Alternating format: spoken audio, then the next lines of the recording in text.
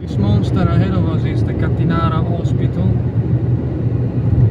Very nice example of brutalist architecture